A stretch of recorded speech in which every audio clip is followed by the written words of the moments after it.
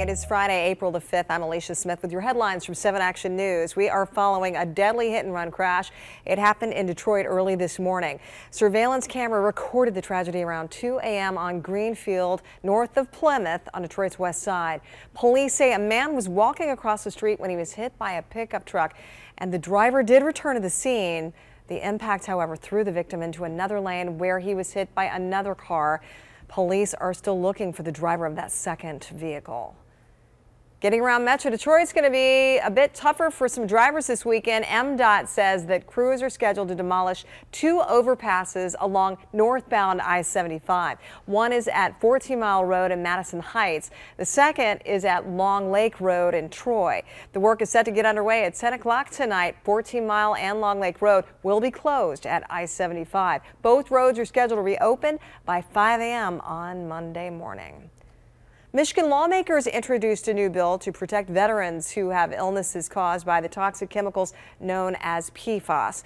Senators Debbie Stabenow and Gary Peters of Michigan and also Michigan Congressman Dan Kildee are sponsoring this particular bill. It would cover treatment for veterans if their illnesses are caused by exposure to those chemicals.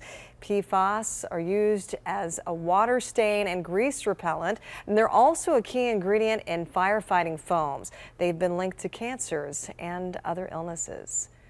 Time now for a look at your forecast with 7 First Alert meteorologist Mike Taylor. And the high temp today up to around 56 after a damp and ugly start to the day. Once we get into tonight, Numbers go down to around 40 degrees. We turn partly cloudy. Areas of fog will be out there. So a foggy and cloudy start to Saturday, but it gives way to a nice finish. 63 on Saturday, 65 on Sunday. That's where our next chance of rain is going to be. That stays with us all the way into Monday. Then the 60s fade. And we go back to the 50s and the 40s going into next week. All right, thank you, Mike. Michigan State, of course, gearing up for the Final Four matchup tomorrow night in Minneapolis against Texas Tech. The Red Raiders, the Spartans hit the court Thursday for the first time for a shoot around.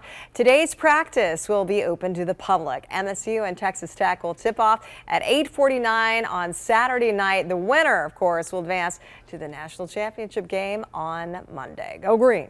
Those are your headlines. Don't forget you can get news anytime on WXYZ.com and our WXYZ mobile app. I'm Alicia Smith. Hope you have a great weekend.